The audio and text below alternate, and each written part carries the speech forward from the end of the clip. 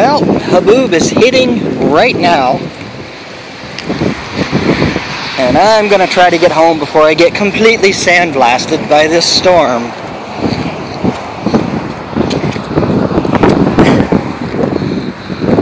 See all the tan brownish air? That's all sand and dust in the air.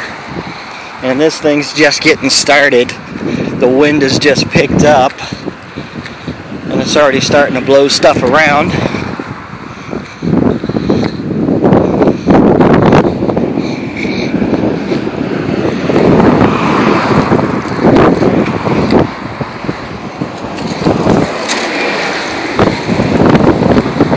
You get that dusty smell in the air and feel the sand getting on your skin and in your face and in your eyes.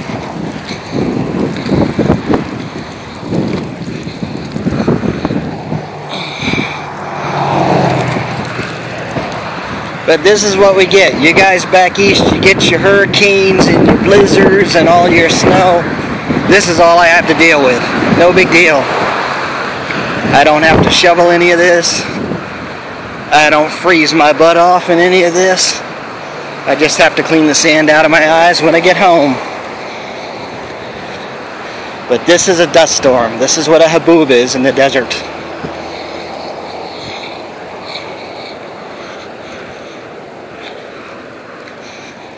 Now you can see that the air is getting kind of hazy looking from the dust.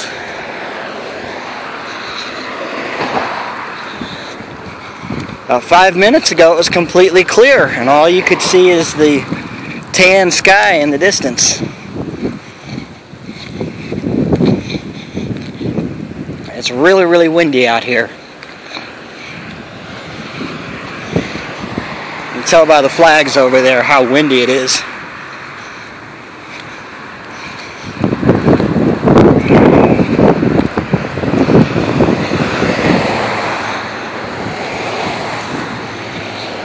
Wind appears to be coming from a southwesterly direction. So this storm is coming up from the south.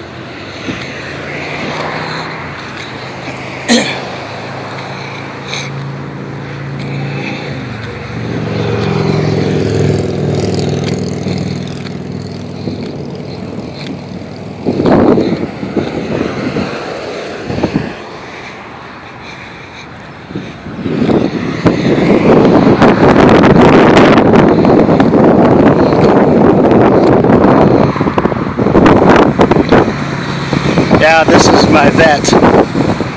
Like his uh, artwork.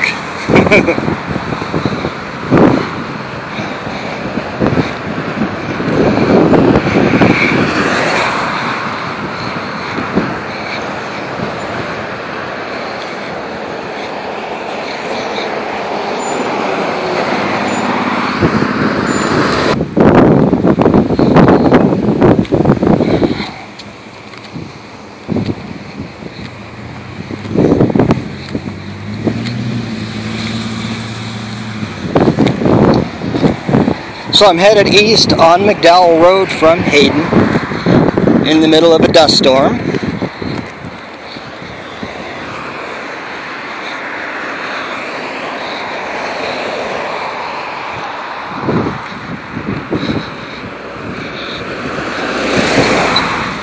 This is General Dynamics. This is where they make um, components for missiles and C4 explosives and stuff like that.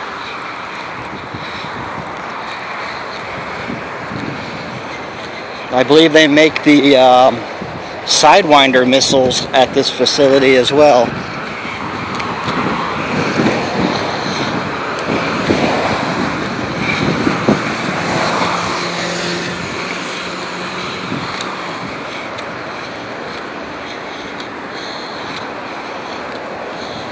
Yeah, I'm already getting the crustification in my eyes, my ears, and my nose from the dust in the air blowing.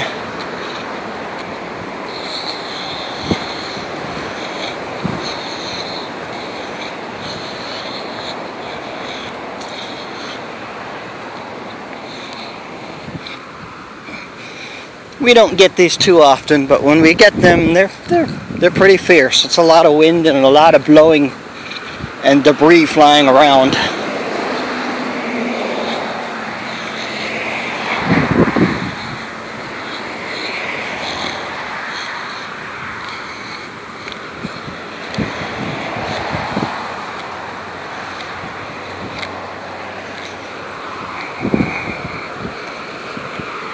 See, look at the trees. When the wind really picks up, we find bits and pieces of trees all over the place. And that's it. That's a dust storm.